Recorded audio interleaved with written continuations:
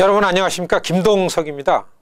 여러분 미주 한인의 역사가 100년이 훨씬 넘고 있습니다. 미국 내 한인의 인구는요 200만 이상 틀리지 않습니다.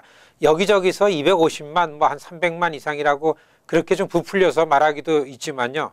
미국 정부가 그리고 미국의 주류 정치권에서 200만 이상의 한인들 이렇게 얘기하고 있습니다.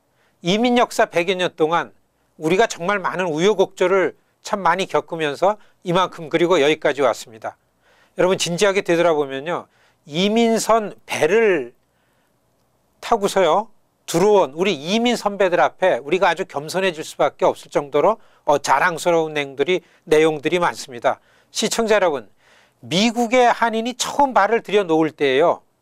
100여 명의 한인들이 배를 타고서 하와이에 내렸을 때 110년 전인데요. 그때의 상황을 생각해 봐야 합니다. 거의 대부분이 일제강점기에 한국에서는 도저히 살아갈 방도가 없어서 아니면 일본 지주들에게 빚을 갚지 못해서 거의 반강제로 팔려서 끌려서 온 그런 어, 이민이라 그래도 틀린 말 아닙니다.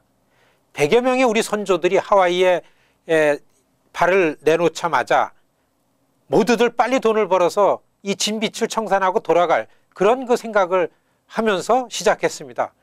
그러한 참혹한 상황이 된 것이 모두가 다 일본에게 나라를 빼앗겼기 때문에 그런 이유였습니다.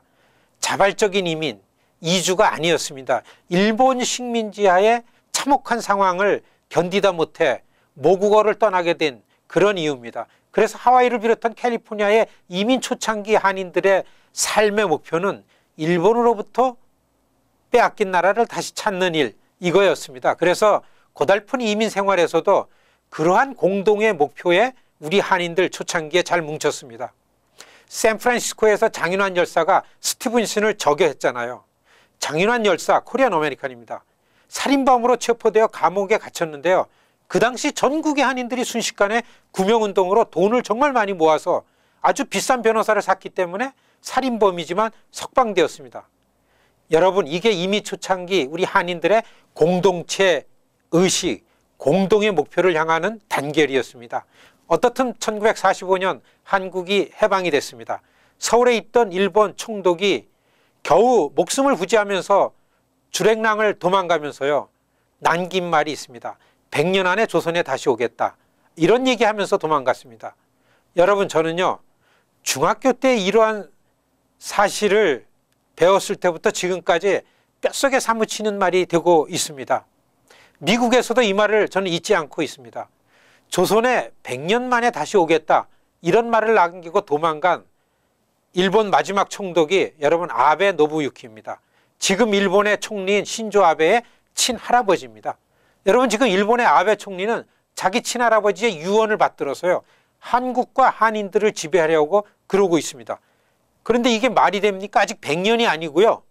이제 70년 지나고 있습니다. 시청자 여러분, 이 방송의 시청자 여러분, 저는요, 사실 우리말을 하지 못하는 여기서 태어난, 그래서 한인 커뮤니티와는 전혀 상관없이 살아가는 영어권의 2세들에게는 이런 거를 기대하지 못하고 있습니다. 우리가 2세들을 우리 근현대사 역사를 잘 교육을 시키지 못한 그런 원인이 있습니다. 그런데요, 이 방송을 이해하시는 분들은 충분히 공감하시는 내용이라 생각합니다. 간혹 어떤 분들은 미국까지 와서 그런 생각을 하냐 이런 말씀도 하시는데요. 저는 그런 의견에 동의하는 분들이 아주 소수고 거의 없다고 생각합니다. 시청자 여러분 2007년 연방의회에서 한인들이 결의안을 통과시켰을 때요. 아사히 신문과 인터뷰에서 아베 총리는 미국에 일본은 없는데 한국은 미주 동포가 있다 이렇게 얘기했습니다. 그리고 그가 다시 총리가 되었고요. 올해 마이크 혼다 의원을 낙선시키겠다고 지금 국리를 진행 중에 있습니다. 그래서 혼다 의원의 이번 여름 선거가 아주 어렵습니다. 한인동포 여러분들이 지금 혼다 의원께 10불 보내는 거요. 이것 꼭 하셔야 됩니다. 여러분 혼다 의원에게 10불 보내기 운동에 동참해 주시기를 간곡하게 요청드립니다. 마이크혼다닷컴 일로 들어가서요. 혼다에게 10불 보내는 거 꼭 참가해 주시기를 부탁드립니다. 감사합니다.